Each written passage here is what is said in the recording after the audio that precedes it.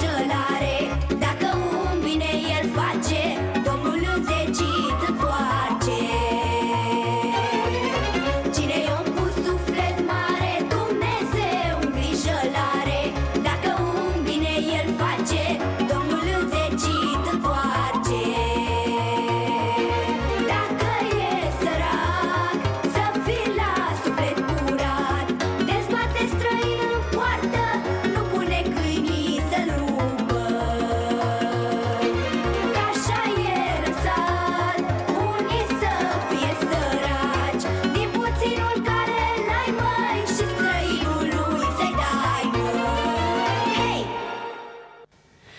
Bine v-am regăsit, doamnelor și domnilor, la o nouă ediție a emisiunii Campus.pi. După videoclipul pe care l-am difuzat încă de la începutul emisiunii, v-ați și dat seama despre ce și cu cine voi vorbi în această seară.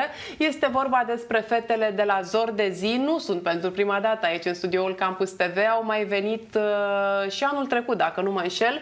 Însă, între timp, au crescut, au multe lucruri de povestit. Pe mine mă interesează foarte tare să văd uh, noile lor experiențe, dar dar uh, trebuie să le aflăm uh, în această seară secretul, să vedem cum reușesc să îmbine atât de bine și cartea, dar și, și muzica.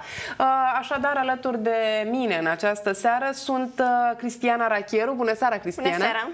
Și Danina Peagu, ambele membre ale trupei uh, Zor de Zi. Bună seara! Bună seara! Dragilor, vă mulțumesc din suflet pentru faptul că ați reușit să vă faceți timp să veniți aici în studioul Campus TV. Eu știu că nu este ușor pentru voi, sunteți foarte solicitate ca să vă pregătiți atât pe partea cu muzica, dar uh, mai ales uh, pe partea cu școala, acolo unde nu vreți nici cum să lăsați garda jos, da? Da. Mă bucur să, să vă revăd, mă bucur să văd că ați crescut, că înfloriți pe zi ce trece. Eu v-am mai urmărit așa pe, pe YouTube, pe la emisiunile televiziunilor naționale. Uh, chiar uh, am, m-am distrat așa astăzi când am văzut uh, o filmare de la Etno TV, unde ați fost împreună cu domnul profesor Ungureanu, dacă nu mă înșel, da? Și da. alți artiști buzoieni. Inițial au crezut că sunteți surori gemene și după aceea și-au dat seama că nici măcar surori nu sunteți, da, păi gemene. Doamnelor și domnilor, Cristiana este clasa a șaptea are 14 ani la școala numărul 11, iar Danina are 16 ani și este elevă la liceul pedagogic, așadar școlii de prestigiu, școlii care nu te lasă să lași nici de cum uh, cartea mai prejos, așa că vom începe așa un pic uh, discuția în partea asta. Fetelor, cum reușiți să îmbinați și cartea, pentru că am înțeles că aveți rezultate foarte bune și la școală, dar și cu, și cu muzica, pentru că am văzut apariții noi, am văzut piese noi. Cum e? Cristiana, ia spune spune netul. Este destul de greu, dar încercăm să facem cât mai bine. Uh, și cu muzica, cu școala, este ceva frumos. Este ceva frumos, da? Uh, sunt convinsă că nu, nu ai emoții, Cristiana, pentru no. că nu ai de ce, da? Uh, nici Danina nu are emoții, pentru că nu e prima dată când sunteți aici în studioul Campus TV. Tocmai vă spuneam înainte de începutul uh, emisiunii că um, mă simt uh, cumva ca acasă cu voi. Uh, deja ne cunoaștem, deja știu cine sunteți și ce puteți și um, recunosc și telespectatorii noștri știu că mm, nu obișnuiesc să mă alătur unor nume care nu promit că vor ajunge undeva sus, da? Da.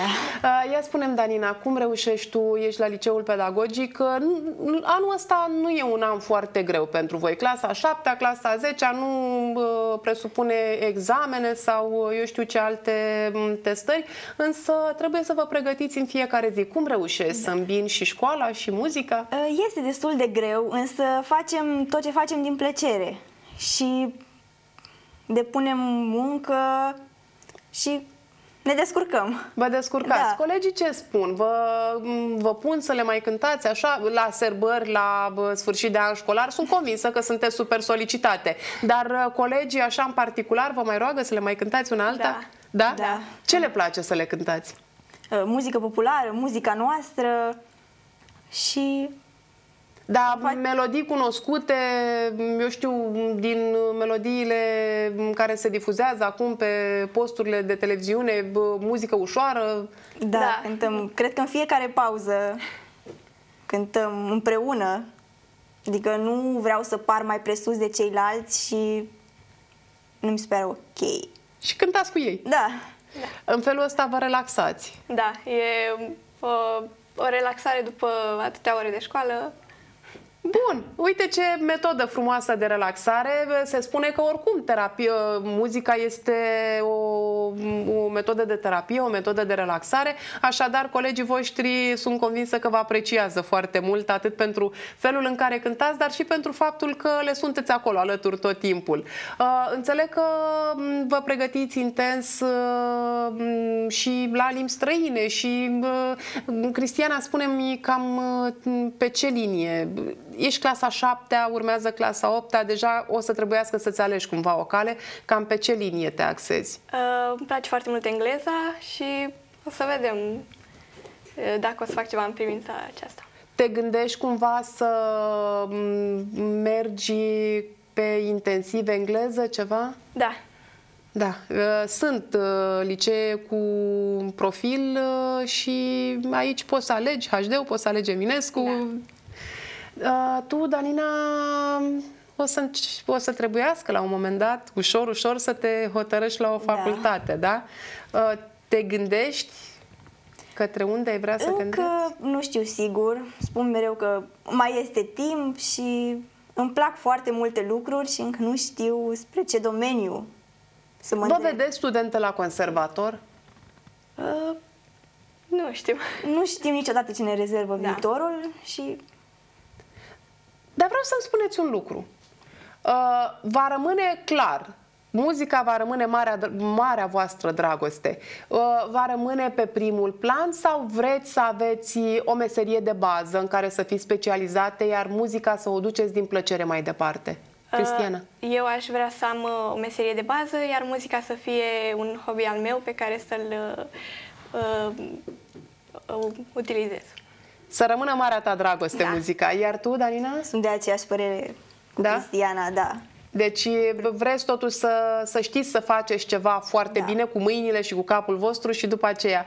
Am ascultat uh, melodia Ferice de omul bun. Uh, bineînțeles că și aici am uh, simțit cumva uh, inima, sufletul, mâna domnului profesor Ungureanu, da? Da. Deci tot dumnealui este cel care vă, care vă compune. Cum a fost să, să vă pregătiți pentru piesa asta?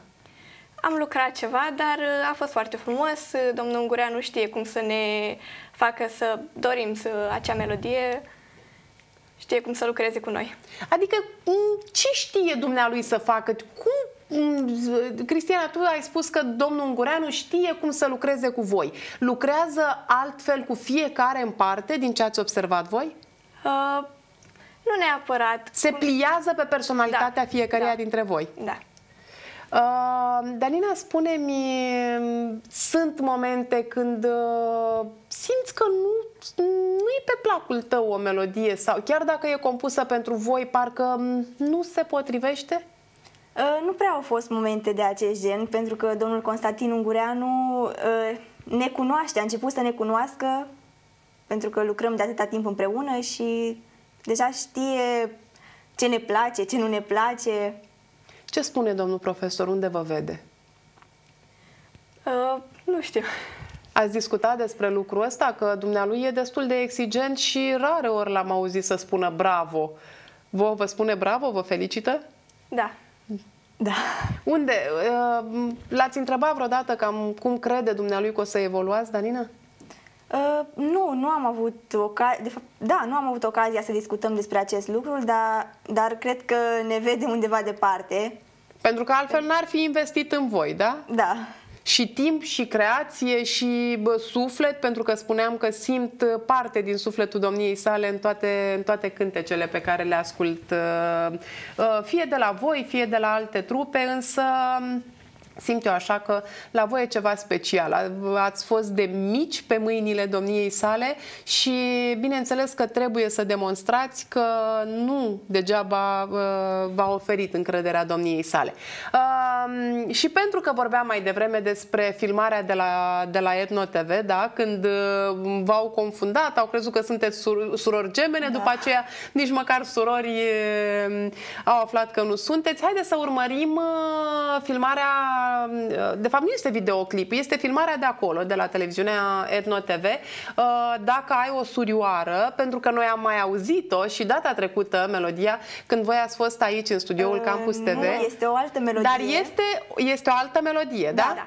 Bun, haideți să o, să o ascultăm împreună, să vadă și telespectatorii noștri cum ați evoluat voi pe, pe scena Etno TV și câtă bucurie ați adus artiștilor de acolo și apoi o să povestim, da? Hai să urmărim uh, filmarea. Thank you.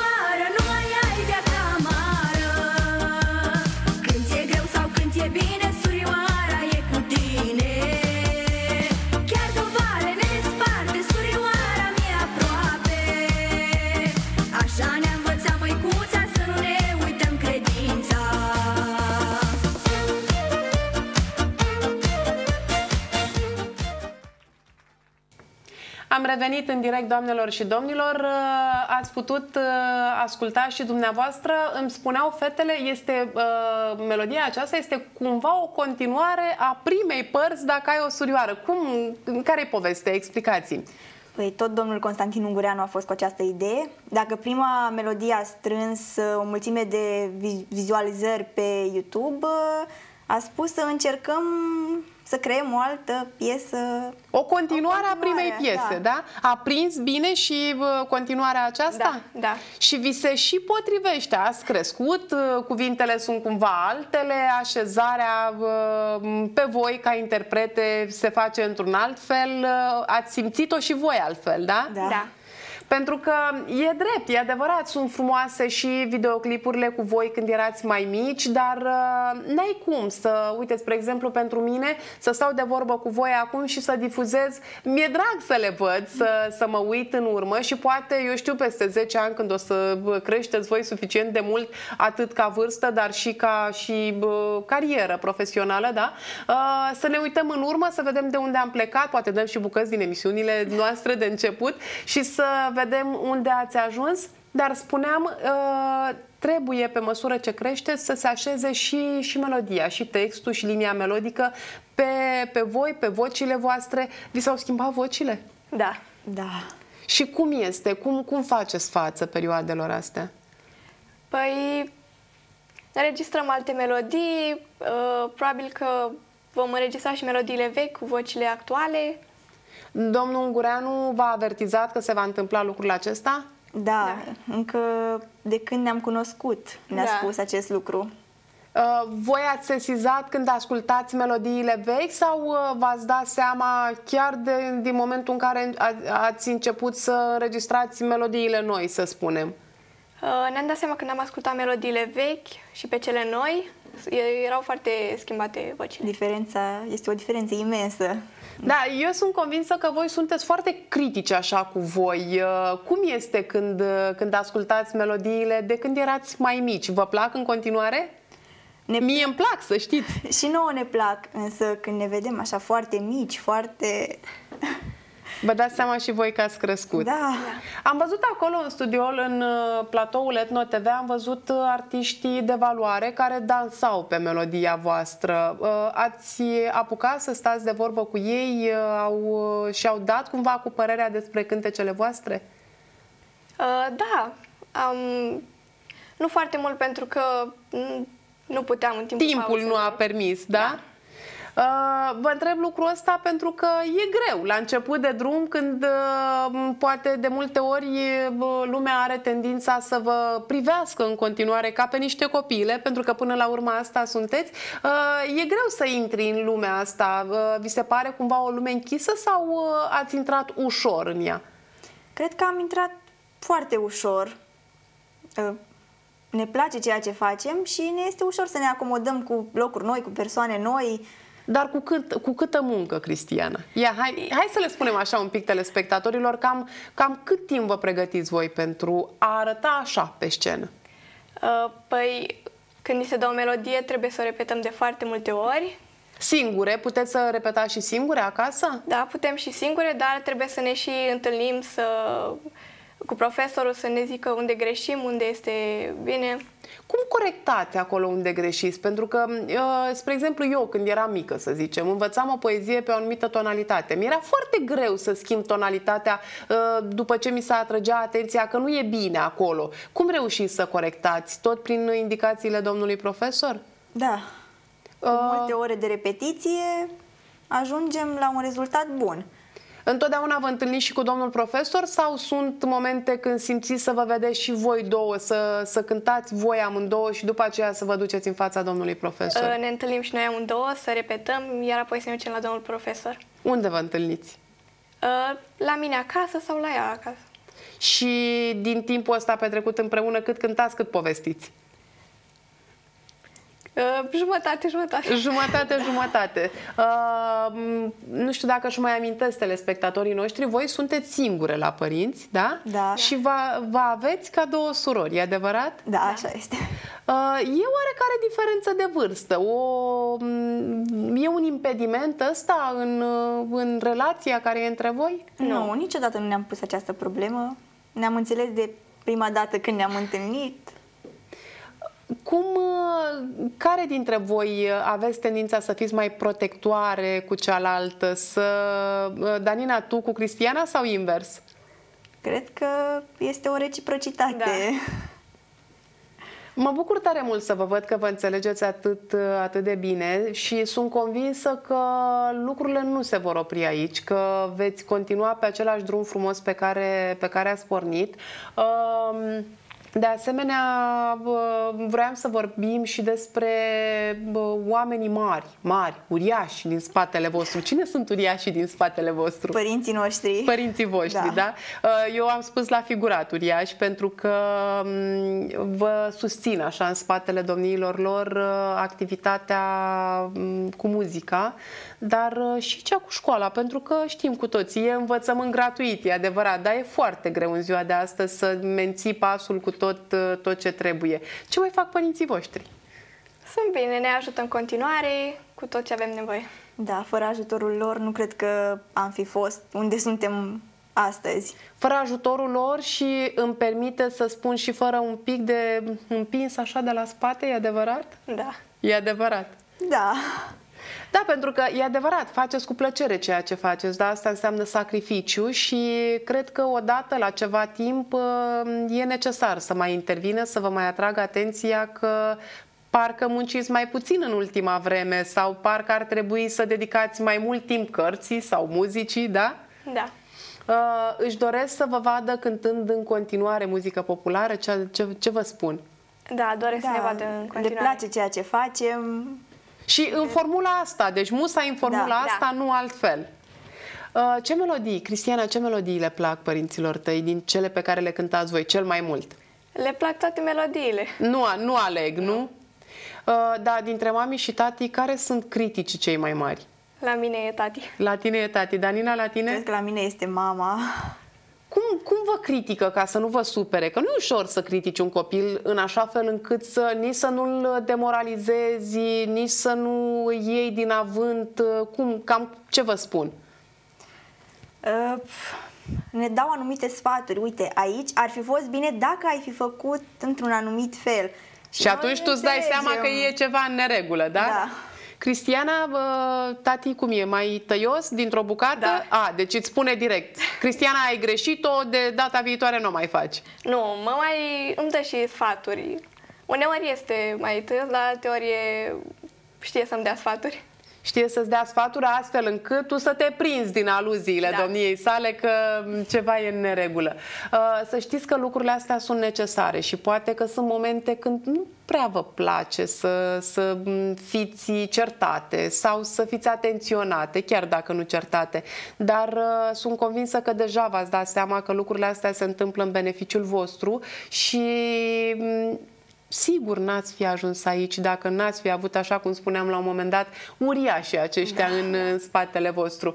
Uh, Eu vă felicit din tot sufletul părinții pentru faptul că sunt alături de voi, pentru faptul că v-au sprijinit și vă vor sprijini, vă spun eu sigur, în continuare, necondiționat și v-au oferit uh, practic pe tavă viețile domniilor lor, pentru că voi le duceți mai departe tot ce au avut uh, mai bun și mai frumos.